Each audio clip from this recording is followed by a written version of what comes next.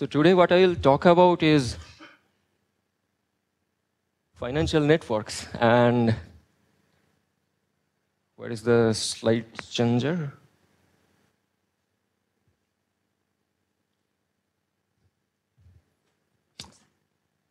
Any, oh, it's here, okay. So what we will talk about today are financial networks and what I will necessarily have to do for that is to introduce you to some time series tools and techniques. So I know that there is a time separate time series model where you will do them potentially in more details, which is good. So today will be more of an introduction.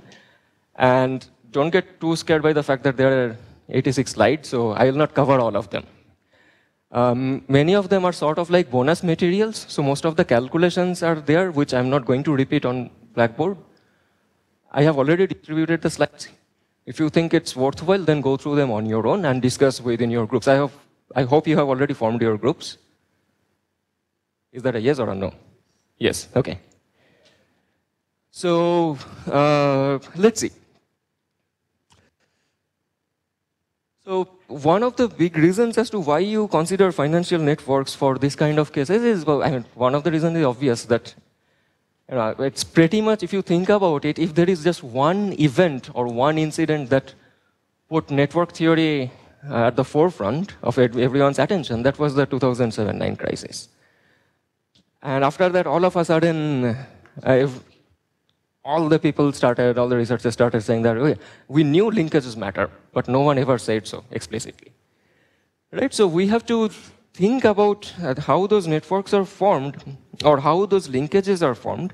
And this is where we will have to necessarily utilize certain other tools because many of these networks are something that I have already described as inferred networks. These are not realized networks. It's not as if it's like there is an input-output matrix where you know that there has been a flow of goods and services of a certain amount.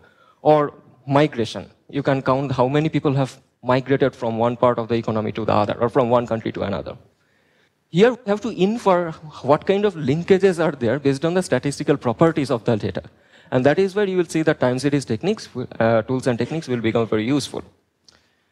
So generally the way you think about a financial system, so this is not the particular, this is not the way we will think about it here, but this will be useful for your agent-based model as well.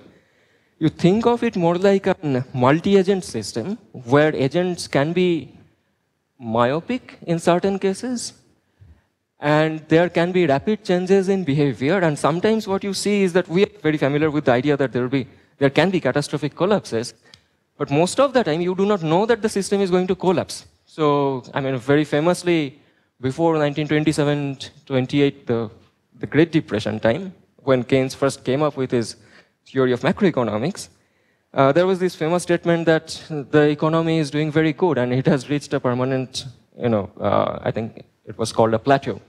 So it was very stable. I think Irving Fisher, one of the you know, most well-known economists of that age, uh, he made this comment. And as horrific as it is, uh, before the financial crisis, I think about two, three years back, uh, I'm forgetting the name of the economist who said it. Again, something of someone of similar stature said that the state of the economy is good. Right? It was only a few handful of economists. So Raghuram Rajan, for example, said that no, there is something wrong. Uh, but that was based on very different type of argument, and he was trying to identify uh, asset-based bubbles. Uh, not in the stock market, but generally in the economy. So basically saying that the loans are going bad and so on.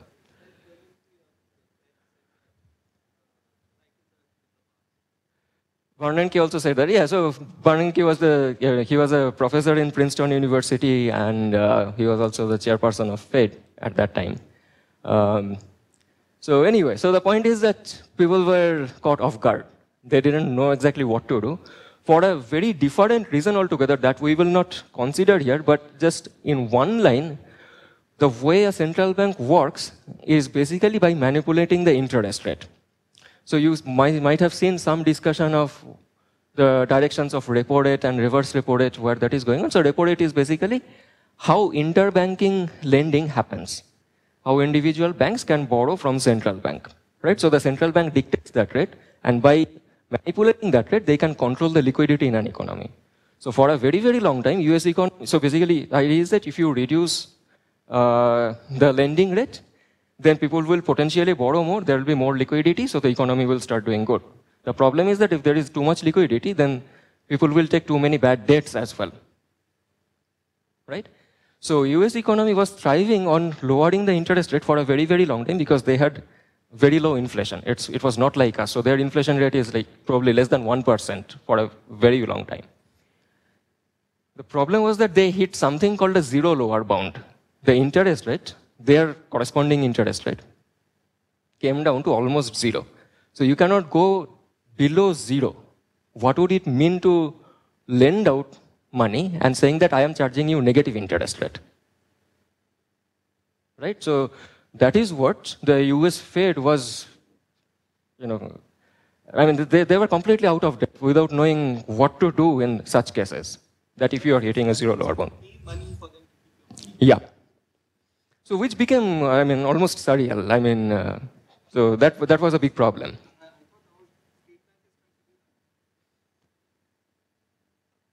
No, I mean, it would not, it would never go to, our interest rates are way higher. It's close to, the nominal interest rate is more than 7, 8%. So anyway, so we will, uh, so this part, this May-Wigner theorem and size connectivity, these are more from complexity point of view. So we will get to it maybe in uh, tomorrow, uh, sorry, tonight's lecture.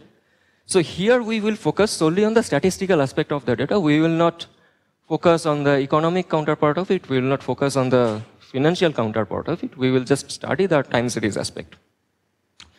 So just by looking at it, so there is some famous guy who said that I can calculate the motion of heavenly bodies, but not the madness of people.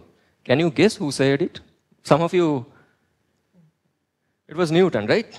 So in 1720, after losing a lot of money in the South Sea bubble.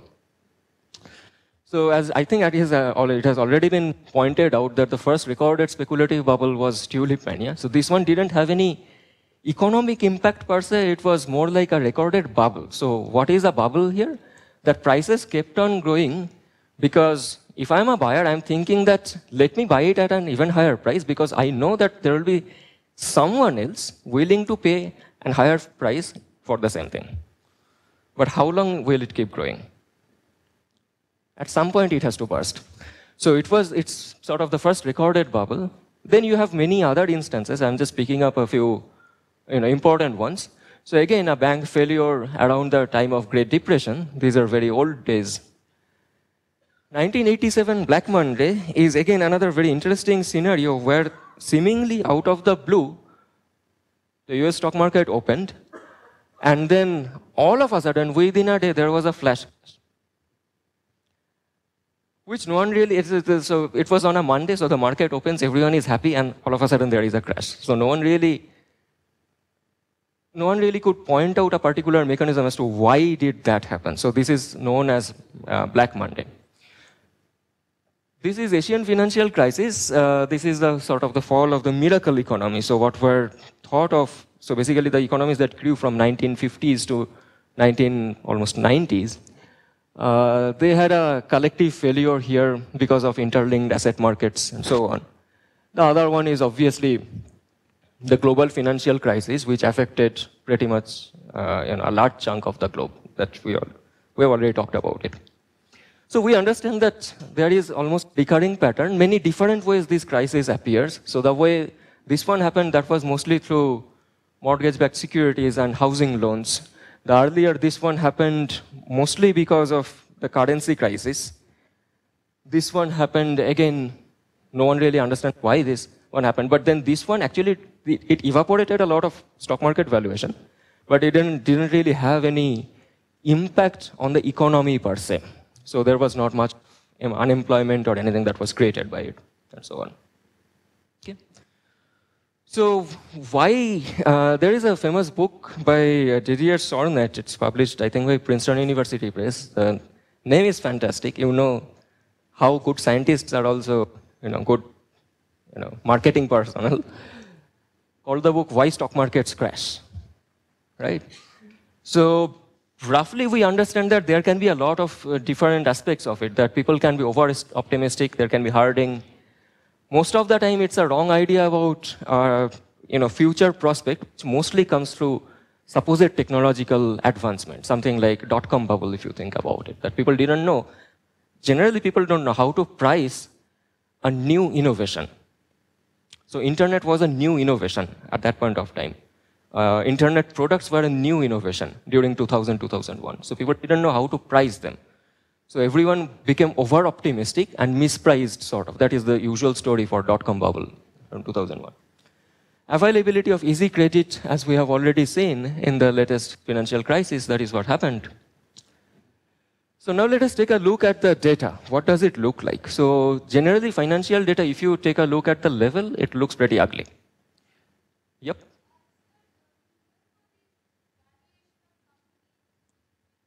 Yep.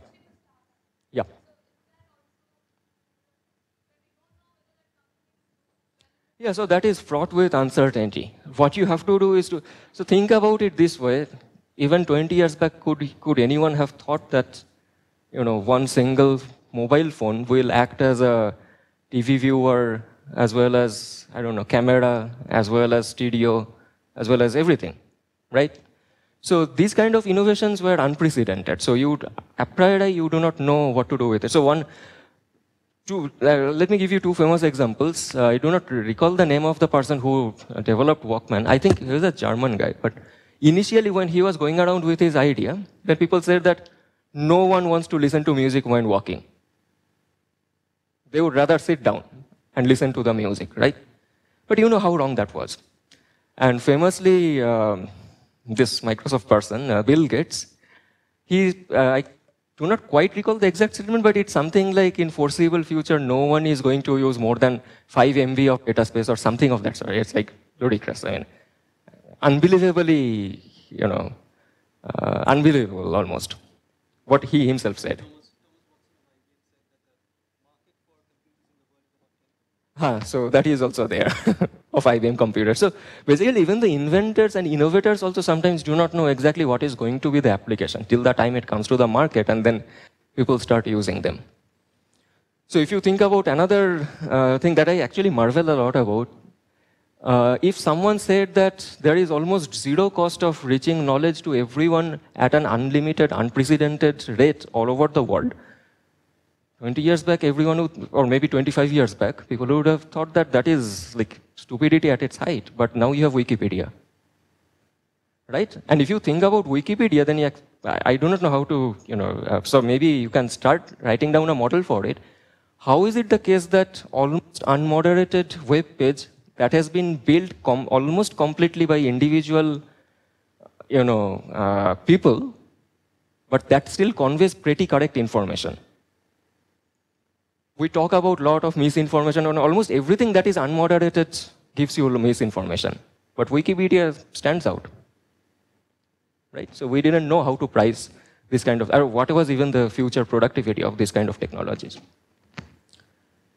Just to give you a short answer to it, that it's fraught with uncertainty. So you give a probability distribution at best, that probably this guy is going to do good, but that's up so this is the data at its level. So this is S&P 500 index. And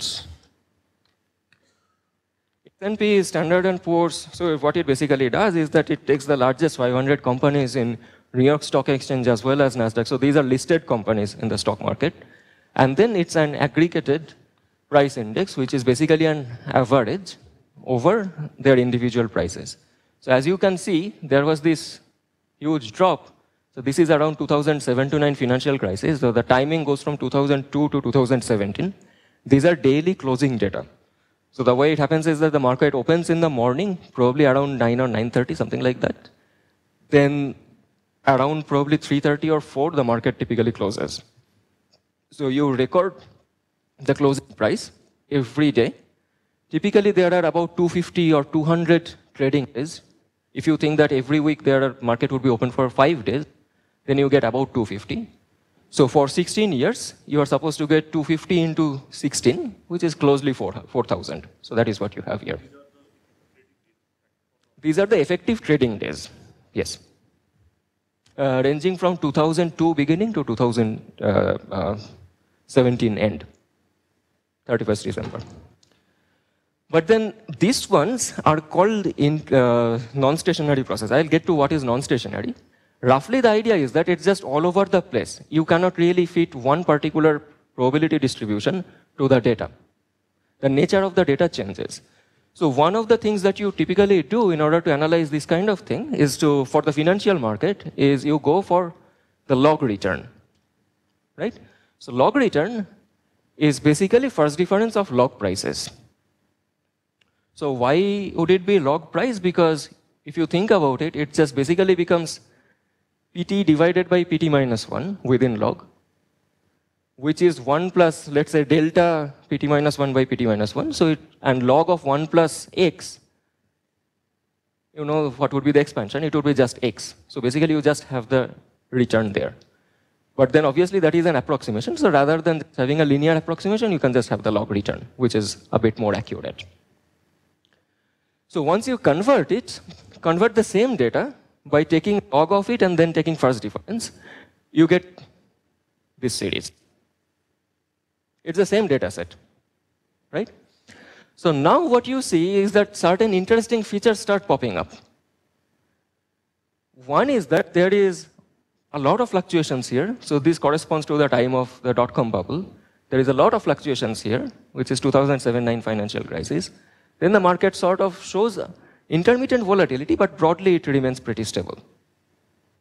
Right?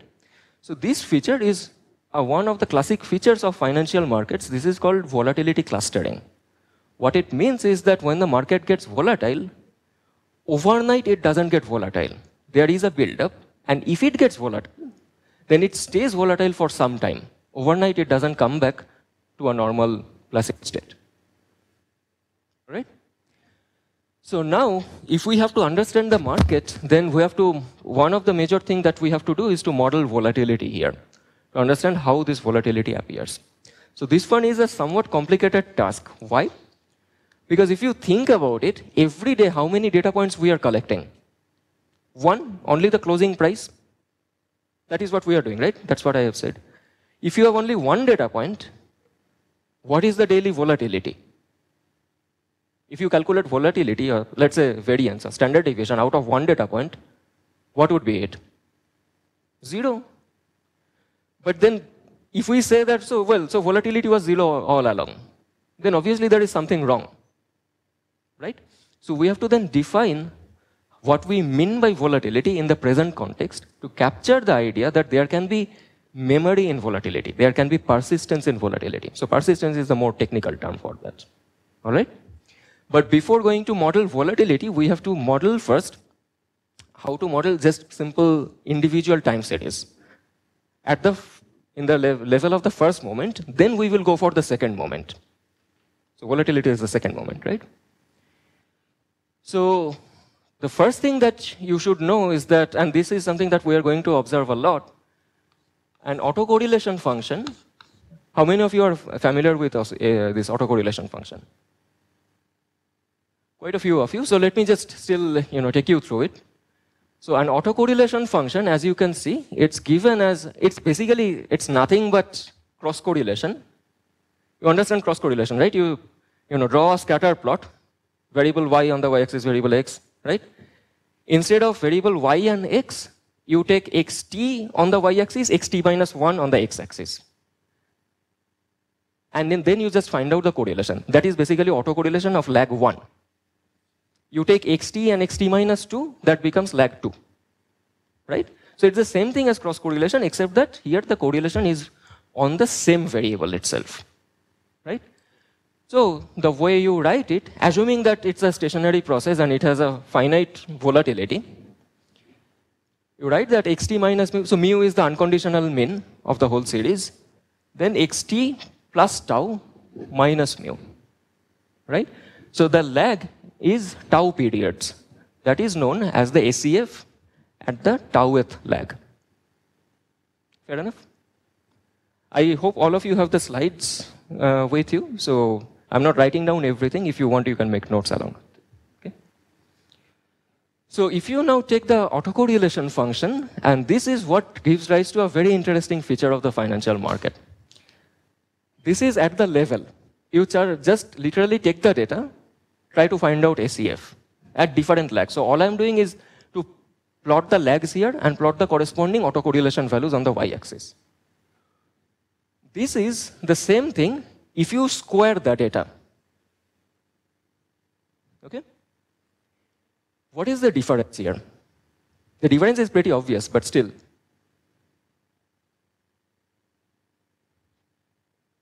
Can I ask you, what is the difference that you are saying here?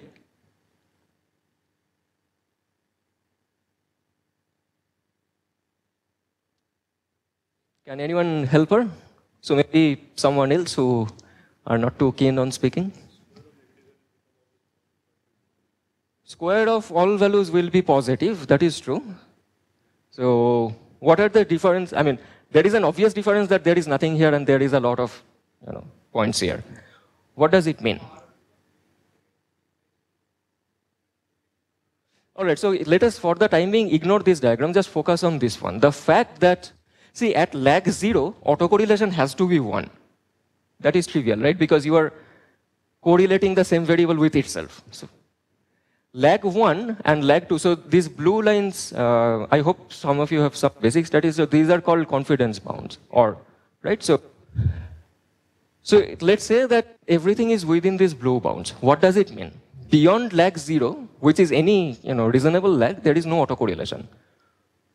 What it means is that it has no persistence across the days. Even if the return is high today, it doesn't mean in the slightest that the return is going to be high tomorrow or even low tomorrow. It just contains no information at all. Why does it make sense? Because that is what an efficient market will also do. If there was a lot of memory in return, lot of persistence in return, if the return is high today, the whole market would jump on buying that stock. Right? And then that property will be erased right then and there. So there is almost no memory in the, at the level of return. But the moment you square it, then the direction is lost. Uh, you can actually take, just for fun, the absolute value of it as well. And I'll give it to you as an you know, uh, exercise. If you square it, then you run the ACF, then what it means is that when the market gets volatile, the moment you ignore the direction, then all positive and negative fluctuations become identical then whenever the, there is a lot of fluctuation, it keeps on fluctuating. And the when, when the market gets quiet, then it keeps on being quiet for some time. Right? So this is another way to represent a similar idea. Any questions so far? Yep.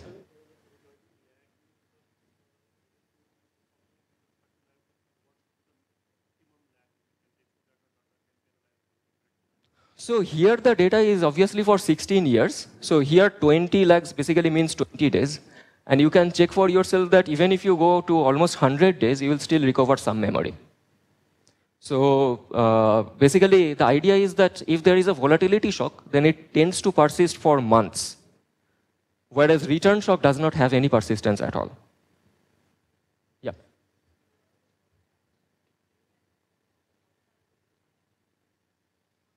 No, we will get to that later. So for the time being, so her question was whether uh, you have a specific bound or range of volatility within which you can distinguish between a crisis period and a non-crisis period. We typically do not do that. So if you model, I have not told you how to model volatility, but if you do, we, I will try to get to it by the end of this class.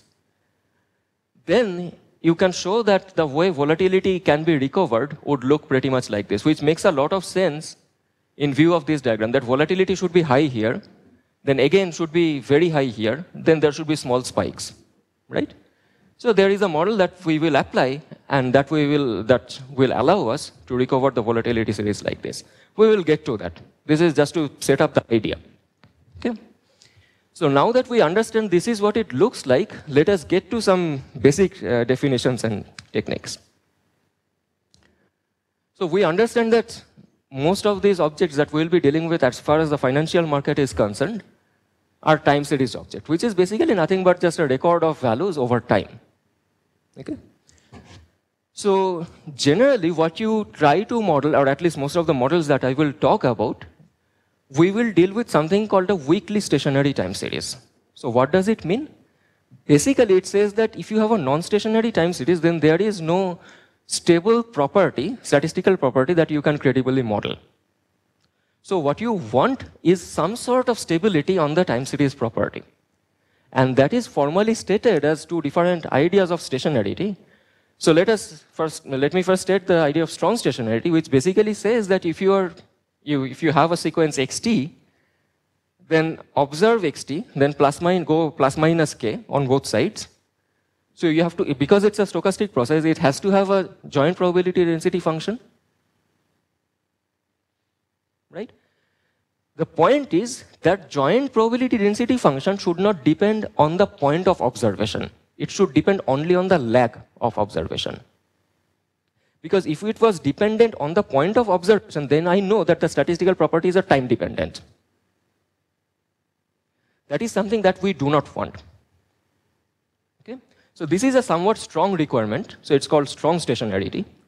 Weak stationarity, or it has another name in statistics book, it's called covariance stationary process. What it implies is that if the first moment and the second moments are finite, and the covariance E of xt, xt plus k, actually this is just expectation and I'm making a lot of other assumptions as well, that the mean is zero and so on. So, but those normalization do not really count that has to be a function only of the lag and not on the point of calculation when you are you know, collecting the data and modeling it. So only the lag between two observations should, should matter. It should not matter when you are observing it. All right? So this kind of systems you call weakly stationary time series. So most, almost, almost everything that we will do will go through for weakly stationary time series. And in particular, note that these are not conditional moments. Are you familiar with the idea of conditional and unconditional uh, moments? All right, so conditional moment is, as the name suggests, that it has to be conditioned on something. So typically in the present context, it would be conditioned on an information set. The information set is how much of evolution of the object, in this case time series, you have already made observations about. So let's say I am modeling a time series from 2010 to 2030, and we are here in 2019. So unconditional moment would calculate it over 2010 to 2013. Whereas if I have to make a conditional prediction based on what I have seen today, then everything that has happened before today is already within my information set. So I will utilize that information set to make a conditional prediction about what is going to happen in future. So those are called unconditional moment, uh, sorry, conditional moments. Okay? So now let me show you just two different examples. So both are two different time series. This one and this one. Can you just get started by telling me what are the you know, visible difference, obviously? Okay, so just in terms of, let's say, colloquial English, would you be able to quantify them without using the word stationarity? There seems to be a trend here. So if I take out the trend, then potentially it might be stationary. But other than that, is there something equally obvious? What you said is absolutely true, but something else? Actually, the data points are uh, you know, identical in uh, number. Yep. Priya? Uh, actually, it's the other way around. This one is doesn't have much of persistence. This is more like a white, what is known as a white noise. I'll define what is a white noise. It's basically when you uh, tune a, I don't know whether you get this kind of radios these days. So when you tune it and go from one channel to another, then it emits a sound right? So you earlier used to see that in the older TVs as well, televisions as well. So the type of noise that you get there, we will call them white noise because all the frequencies are mixed there. Basically, they're called white noise because if you do a frequency decomposition, then you get like a complete equal collection of mix of all sort of uh, frequencies. Whereas this one seems to be being a, it, this one seems to be a bit more persistent. That it sort of shows a pattern that when it's going up, it's going up. When it's going down, it's going down. So there seems to be some difference. So there are a couple of differences here. So the most obvious building block of all time series is something called a white noise. Let us start from that, and then we will start adding different properties to it. So let's say, uh, so this, uh, this is, uh, you know what is IID? So it's called identically and independently distributed random variables.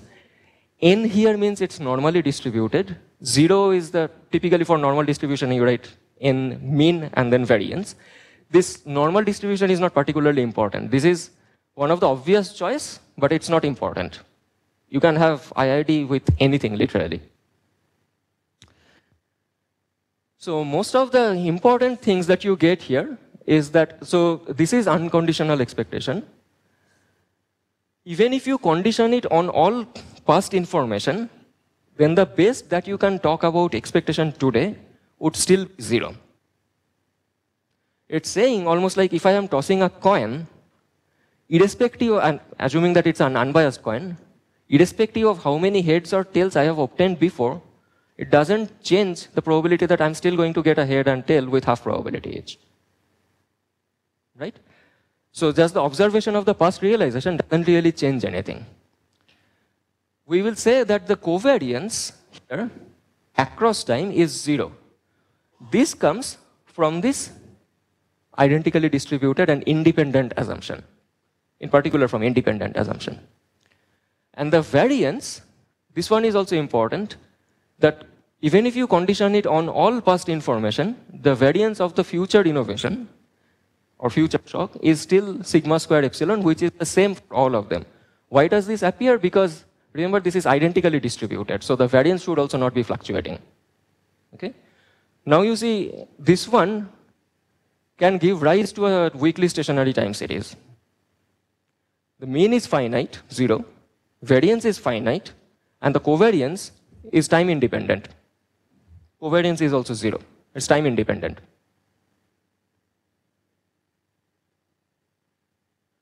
You're following, all of you?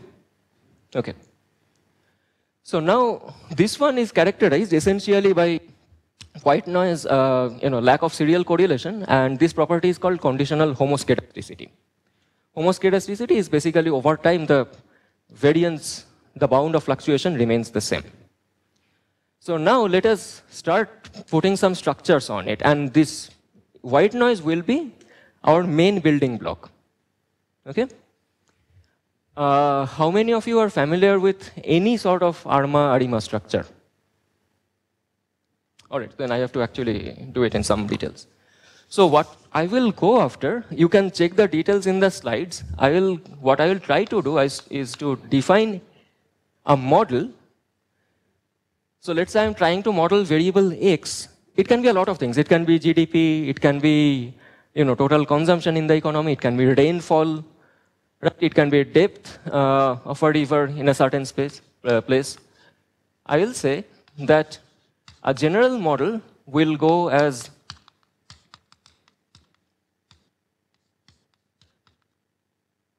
uh, let me just call it P plus beta 1 epsilon t minus q or rather epsilon t plus beta 2 beta 1 epsilon t minus 1 plus beta q epsilon t minus q.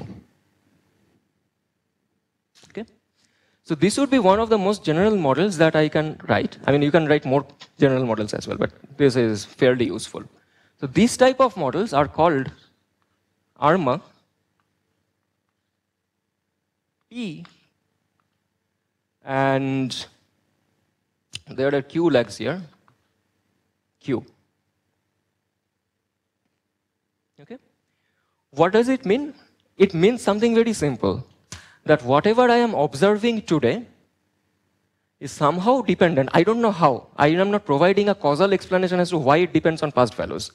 But somehow, for whatever reason, it can be expressed as a constant. That constant can be zero as well. Plus, weighted average of all the past p lags. This p can be 1, p can be 3, p can be 5, p can be anything and Q lags on all the errors that I have seen. So it's a, and these error terms, these epsilons are called white noise. This is precisely one of the building blocks that we have already laid the structure about. So one of the easiest ways to think about how, let's say, how to model population is to say that, well, xt goes as some phi xt minus 1 plus epsilon t. This is called AR1 process. This is, the name is also suggestive. It's called AR. What that implies is, basically the full form is auto-regressive. It's the same as a general regression. Rather, it's the only difference being that it's being regressed on itself. So you're regressing xt on xt minus 1. Okay? So then xt equals phi xt minus 1 plus epsilon t. So I'm saying that let's say xt is population. Then I'm saying that whatever population is, whatever is today's population, is phi fraction of what was 2018's population plus some stochastic term, epsilon t. Okay?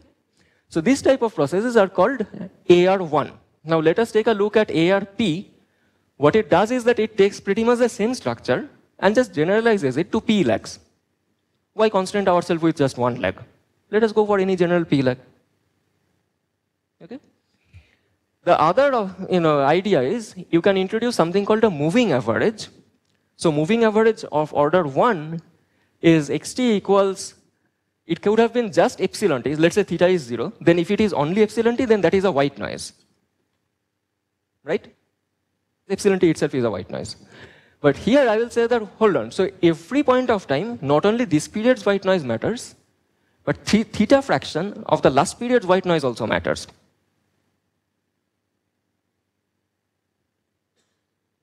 Okay? So why would it matter?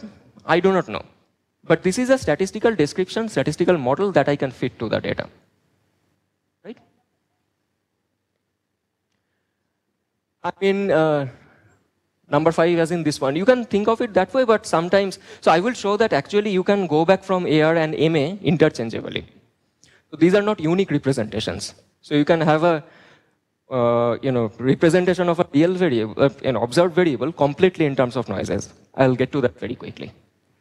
So once you combine both of them, then you get an ARMA PQ, which looks like this.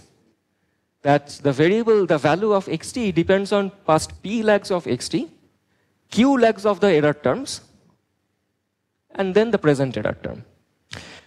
So now, one thing you might say that, so this xt generally might have a positive mean. So that doesn't really matter because on both sides I could have taken out x bar and then it gets normalized to zero. So adding a mean here on both sides is not really a big deal. We can do that. So we will just keep it out of the context, out of the calculation because it just makes it a bit messier. We'll just model time dependence. Okay? So once we understand roughly what is an ARMA model at a very mechanical level maybe, let us now introduce something called a lag operator because if we have to, let's say this P is somehow turns out to be 10 and Q turns out to be 15, then imagine you have to write xt equals theta 1, xt minus 1, theta 2, and then go, to, go till 15. Then again start with epsilon t, so it becomes a mess. So there is an easier way to represent it. The representation is something called a lag operator.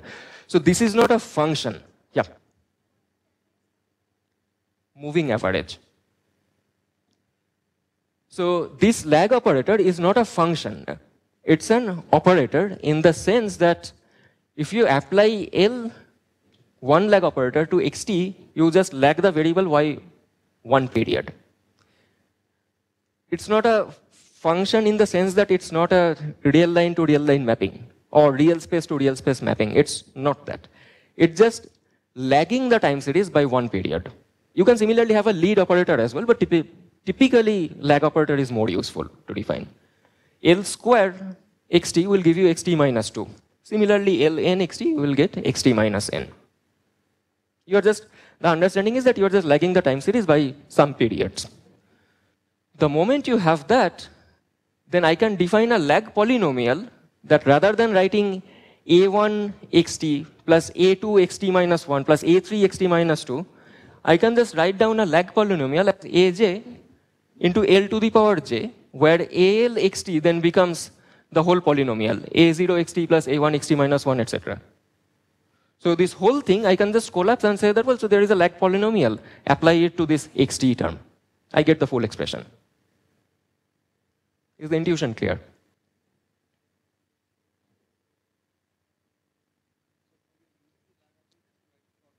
Basically, what I'm saying is that I can take represent this one as alpha 1 L xt.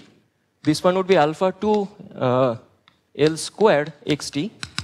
Then alpha p L to the power p xt. Now I'm taking xt common out of all of them. So I will get alpha 0 plus alpha 1 L plus alpha 2 L squared plus alpha 3 L, then alpha p L p. I'm just combining all of it and calling it a lag, uh, lag polynomial. Now I can do the same trick with this one as well. I can write beta 1 L epsilon t, beta 2 L, L2 epsilon t, because this would have been, this would have, the next one would have been beta 2 epsilon t minus 2. So this one I'll be able to write as beta 1 L epsilon t. This one would have been beta 2 L squared epsilon t, and so on. So again, I take epsilon t out. Within the remaining term, I again call it a lag polynomial of beta. So then, a very simplified representation of the ARMA model, ARMA PQ, is just simply nothing but AL of xt equals BL of epsilon t. The whole PQ of polynomial is collapsed into this simple equation. Okay? So now, let me just take you through one quick calculation and then I'll try to get to the uh, you know, actual matter very soon. Let's take an AR1 representation. xt equals phi xt minus 1 plus epsilon t. Okay? So the way you can write it, you can actually do it two ways. One is that you can recursively substitute them. So xt minus 1 would be epsilon t minus 1 plus phi xt minus 2. So it becomes epsilon t, epsilon t plus epsilon t minus 1, uh, phi epsilon t minus 1 plus phi squared xt minus 2. Then you substitute xt minus 2 again. So eventually you will be able to come up to a weighted average of all past error terms. This is called method of recursive substitution. Another very powerful method is that you express it in the lag polynomial terms and you can show that this L operator, although it's an operator, it works just like any other number. And then xt can be written as epsilon t inverse of 1 minus phi L. And then you expand it like this, that 1 plus, is this just the Taylor series expansion? Then you apply epsilon, uh, basically apply this terms on epsilon t, then you get back the same representation. The only thing is that you need to have and this reversion, uh, this inverse possible. So this phi needs to be less than 1 in modulus. That comes from the general systems theory idea that if you want to invert the matrix of a dynamical system, then the largest magnitude of the uh, eigenspectra would have to be less than equal to 1. Actually, it needs to be less than 1 in order to have a proper inversion. So it comes from that general idea. If phi was 1, exactly 1, do you recognize what this series would have been called? This kind of process. This would be a random walk in discrete time if this phi was 1. Right? And in that case, it will have an unbounded variance, which will be a function of t. So unconditional variance would be basically infinity. Okay? So now let me skip. So there, are, there is a whole bunch of calculations. I have already given the details of how you can calculate those autocorrelation functions and everything for these different processes. Now let me get to something a bit more important, which will allow us to talk about networks. So once we understand that if there is a time varying value, then, then we can model it this way. Now make it a bit more complicated. In the sense that in the financial market, we have already seen that many different variables evolve at the same time. So just modeling one variable may not be enough. So for that, there is a fantastic toolkit. It's called whatever we have you know, introduced so far is called ARMA process. Then what you, what you do is to introduce something called a vectored ARMA process.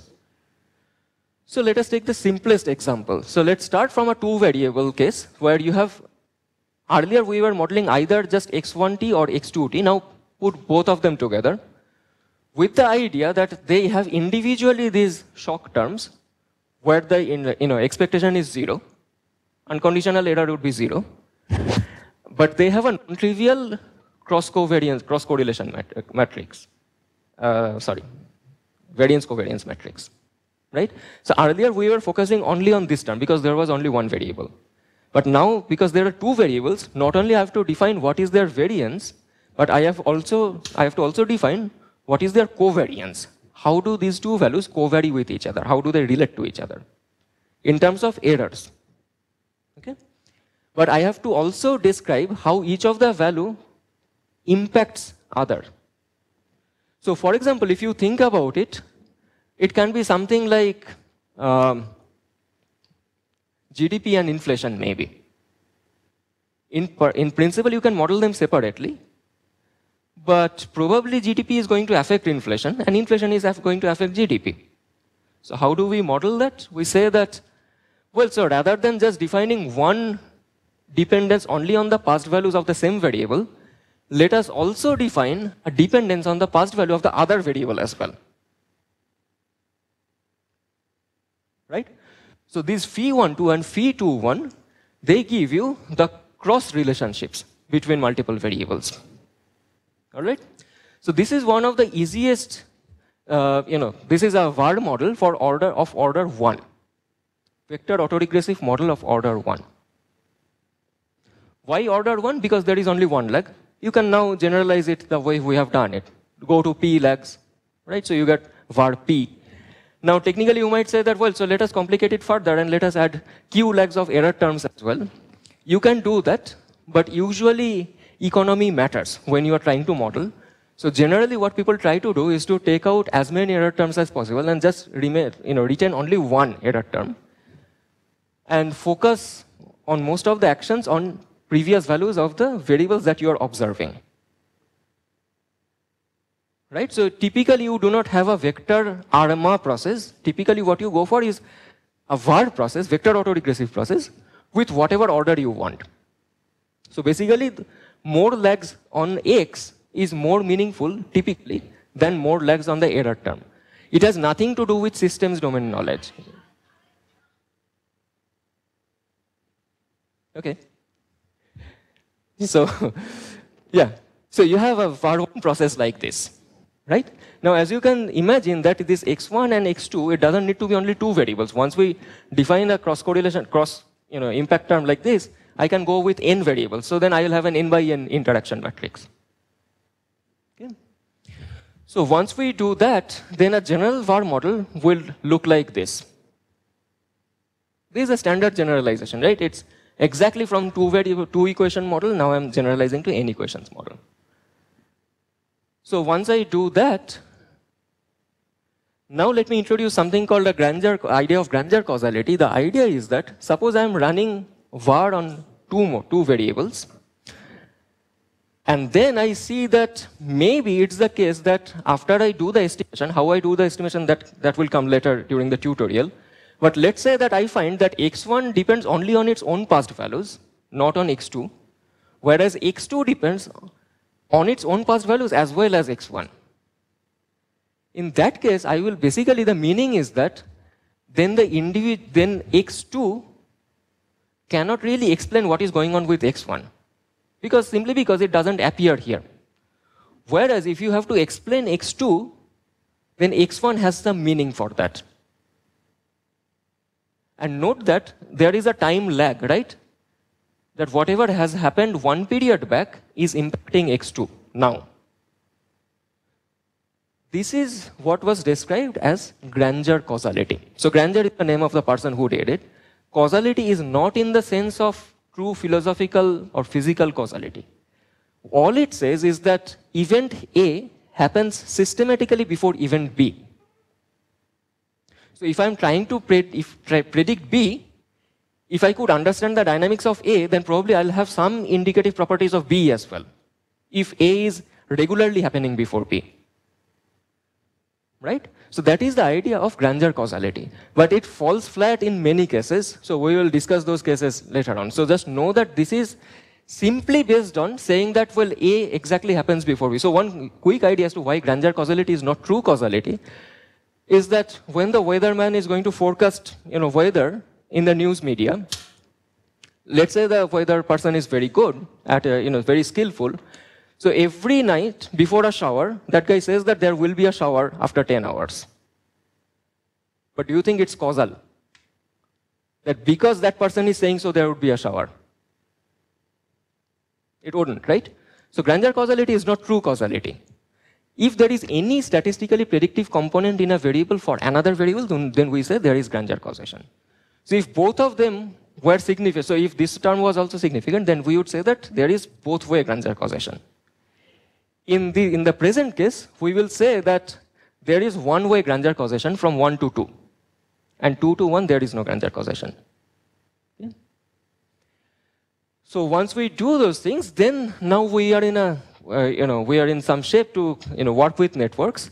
So here I will say that this is US sectoral data from about 10 years, 12 years worth of data. These are, you know, these are the sectoral indices that are traded in the stock market, right? Just like you can have individual equity level data, you can get sectoral data as well. Remember we started with S&P 500? So there can be equivalent indices for each of the sectors as well. So there can be a mining sector index, there can be an IT sector index, and so on.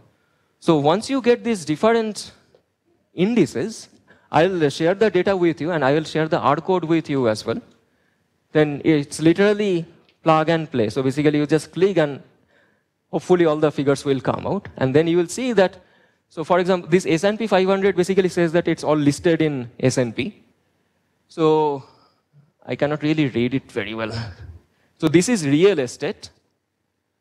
And this is consumer discretionary. So there seems to be an arrow pointing from here to here, but nothing coming back. So this one is energy, and I do not know what is this one. This one is some sort of technology. This is financial. So there is a one-way arrow here, nothing coming back here. So each of these represent one-way Granger causality. So if there was both-way Granger causality, then you would have seen arrows on both sides coming back and forth.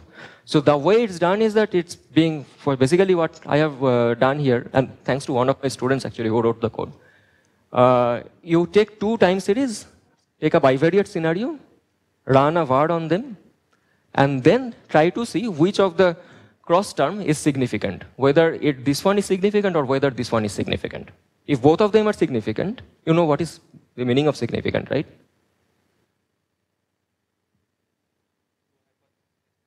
You to uh, so you are familiar with the idea of uh, regression and finding relationships, hypothesis testing. Okay, so maybe that also requires a bit of. Uh, I remember that you also asked the same question, but all right. So we will talk about that hopefully a little bit during the tutorial. So then you try to essentially see whether x1 statistically matters for x2 or not, and similarly whether x2 statistically matters for x1 or not. That's all. How do you quantify it? That's a separate issue. We will talk about that. Then similarly, this is for German sectoral data. Okay. So this DAX basically stands for German Stock Exchange, and you have a whole bunch of different sectors. So this is the way you can uh, I wish these names were a bit clearer. So for example, this one seems to be Granger caused by a whole host of other sectors, right? This particular node, there is a lot of incoming nodes here, right? And this one seems to be only in the receiving end, getting three connections. So whereas this one, I think this is construction probably, if I, this is construction, right? Yeah. So construction is being caused by whatever this one is, but then it's Granger causing at least three, four other sectors. This is purely in terms of statistical significance, whether it's statistically containing any significant information about the future behavior of the other variable or not. Yeah. Well, so in a different way, we can answer that idea and you know address that question. At least, so let me quickly go through it. And so basically, his question was here. It's almost like a zero-one idea, whether it's a Granger causal or not. Can we give a much more continuous idea? So there is a way to do it. I'm not sure I'll be able to finish it, but let me still, uh, you know, try to get there. So for Canada sectoral data, again, you can construct something very similar. So now let us try to quantify if there is one sector, and remember that this Granger causal idea, the way I have presented it, it's basically a bivariate. So basically, if there are n sectors, you are doing nc2 number of var regressions, n choose 2, right? And then trying to figure out the you know, relationship.